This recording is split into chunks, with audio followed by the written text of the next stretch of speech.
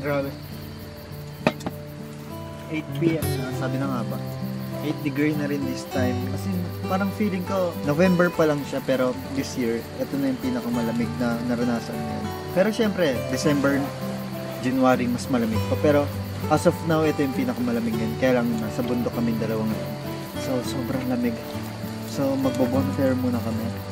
Ito, hinanda ko na yung mga bonfire namin. So, dun muna siguro kami magbo-bonfire. Ganda ng gloves panlabig mo, beba. Dito pa lamig. For camping. Nag-ano ako kanina eh. Nag, ano ba tawag sa Tagalog na? Nag? Basta kumuha ko ng kahoy. Ninakaw mo lang yan eh. Ninakaw ko lang. Wala talagang katao-tao ngayon. Super lamig. As of now, hinihintay na rin namin lumabas yung mga walk, walker. Boots mo pang Rick eh, di ba? Oxuric. Oxuric eh! Mainit. Mainit. Mainit na. Mainit na. Oh, Ngayon. Nagpapawisan ako. Nainis ako. Oh. Tapos kung nagwa, wala, wala ni tree. Hmm? Sino ba yung hater natin, Ben? Sino ba yung hater natin? Hater natin. lamig no? Hindi. Hindi ba? Hindi. Tignan mo lang suot ko. Init na init ako eh. Andiyan na. Parang awa nyo na apoy. Maghahanap tayo yun. Ito. Ayan, ayan, ayan. Okay, Good. Dapat lalamig dito. Dati, sanay ako sa lamig. Pero ngayon, sanay ako sa init.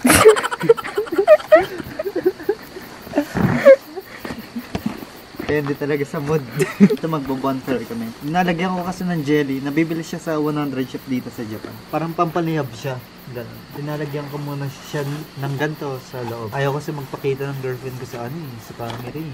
Ah, Marami pa naman kami dyan. ninakaw mo yun kanina eh. Di ba? Tayo makakabalik dito.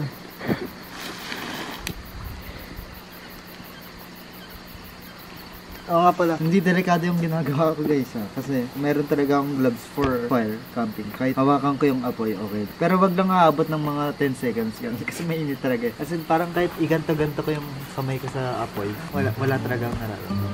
Lalo na ngayon, dinalamig ako eh. Kinokompleto ko yung mga gamit namin ni Rachel sa pang-camping. Kasi napapaisip ako, bakit na lang i-content ko siguro something. Sakto kasi corona ngayon. So, alam ko maraming tao nahihirapan. Nakikita ko talaga even sa news sobrang daming tao nahihirapan sa corona. Kasi isipin nyo, hindi ka makalabas. Tapos yung iba nawawalan ng trabaho. Hindi naman dito sa Japan siguro. Yung iba nawalan ng trabaho dahil sa corona dito sa Japan. Pero isipin nyo, sa ibang bansa, hindi lang tayo naghihirap even sa Amerika, lalo na sa Pilipinas. Ayun, nagtatagalog ako. Kasi isipin nyo, may, may mga tao nawawalan ng trabaho dito dahil dito. corona. Parang isa siyang pagsubok sa buhay para sa akin. Kasi sobrang hirap talaga as in. Tapos yung iba, no work, no pay talaga yung nangyayari sa kanila. Nakikita ko sa Facebook yun, sa mga pages. So yun, laban lang as in, be positive lang tayo. Matatapos din natin yung mga problema na ganito.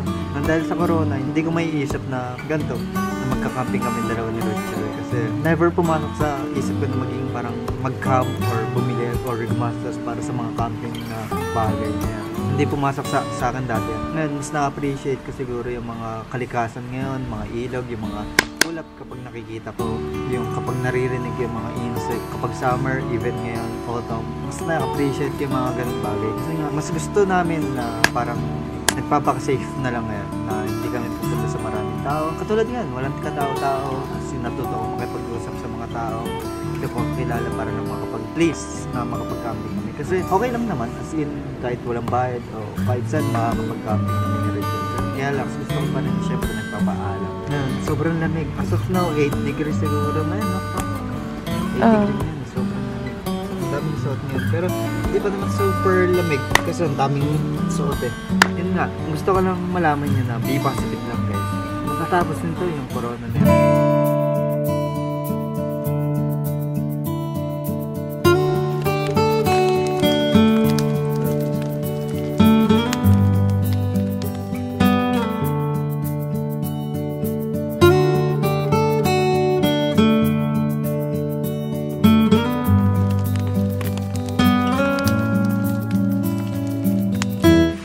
Ng kulay. Labig na cooler, ano? So, yun. If tatanungin ako kung ano yung mas gusto namin mag-camping summer or winter, mas gusto namin winter. Promise. Mas okay siya kasi, alam niyo yung pag sinabi niyong camping, parang nasa isip na natin yung bonfire, yung ganyan. So, syempre, kapag mainit siya, parang di mo feel yung bonfire. Okay naman kapag gabi. Kaya lang kapag winter, mas parang kailangan niya ng parang fire, yung mga bonfire, mga ganun. Parang mas na-appreciate niya sa yung mga ganun. Hindi ko lang alam kung alam niyo yung nabe na pagkain dito sa Japan. So, yun, search niyo na lang sa Google. Guguti ko dasay. So, yun. Isa siya sa Japanese food ng Japan kapag winter. So, yan, ginagawa din namin siya sa bahay minsan. Kaya lang hindi ko pa na-experience na ako yung mismo yung maghahanda ng gulay. Kaya lang ngayon, may nabibili niya na siya sa supermarket na set na yung gulay niya. Kayo nang bahala kung ano yung nihalo yung karne. Yun, parang set na siya. As in, yung generation ngayon, parang napakadali na lang compare sa mga panahon ni Papa. Itadakimasu.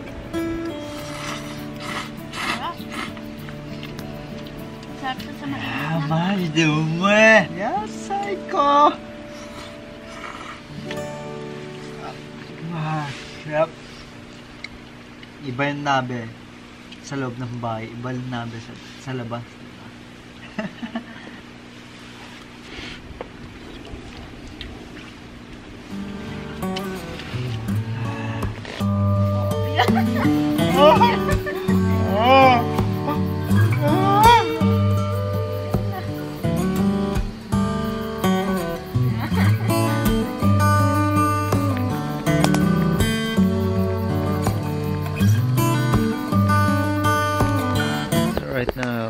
namin iniinit yung nabe namin. So napagbalakan namin ni Rachel, ayaw niya magpakita sa camera masyado. Napagbalakan namin ni Rachel na siguro even December kakayanan namin. Diisip namin. Hindi ko lang kaya yung kapag start ng siguro mga March, May, mga ganun. Kasi nga may allergy ako sa ano. ano Pollen ba sa.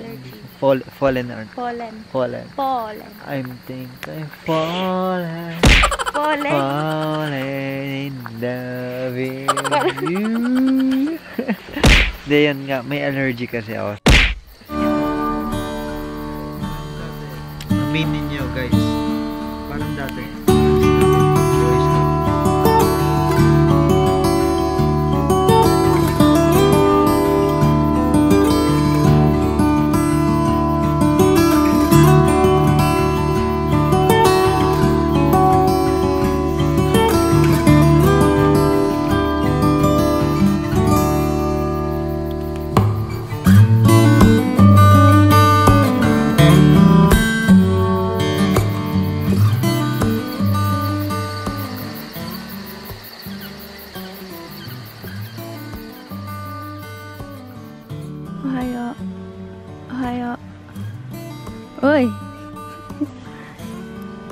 Gising na.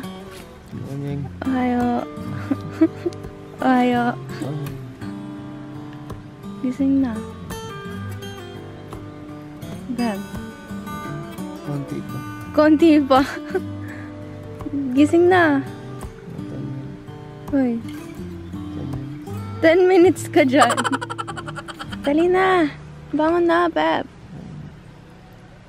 Kaya, gusto. Ano na, Beb? Padami yata yung katulog. Padami naman. Lata naman eh.